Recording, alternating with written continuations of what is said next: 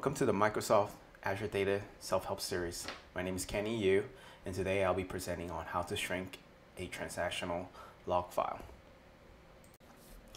There are two ways to shrink a database file, either by using SSMS or T-SQL. However, before shrinking a transactional log file, we should understand the reason why the file has grown. Please follow the best practices outlined in the Microsoft documentation. For example, setting proper auto growth size to ensure that the transaction log file grows at a consistent rate. This can be done by selecting the column log re underscore reuse underscore wait underscore description in sys databases or running the notebook via Azure Data Studio as shown here. For example, after running the query, my database needed a log backup. A transaction log backup will truncate the log, and enable the space to be reused or released. Once a log backup has been completed, the file can be shrunk to release the unused space back to the operating system.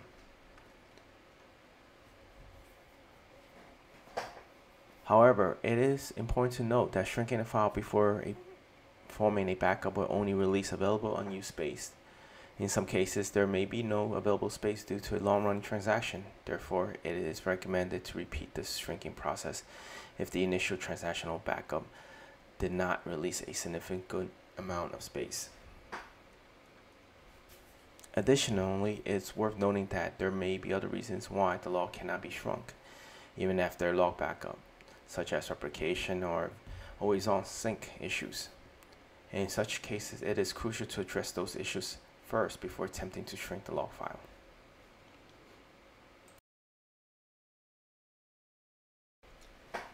To check for free space and perform the shrinking process, follow these steps.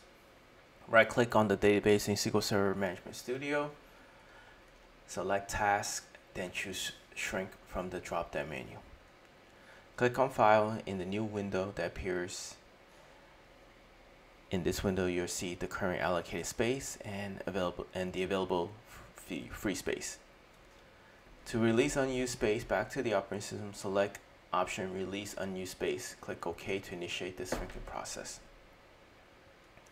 By following these steps, you can check the allocated and available free space and choose to release any unused space back to the operating system.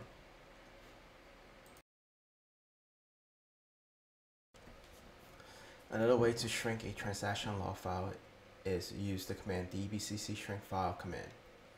In a new query window, you can run the following command as an example, dbcc shrink file, logic file name, and, and the file size. This command will shrink the log file to 256 megs.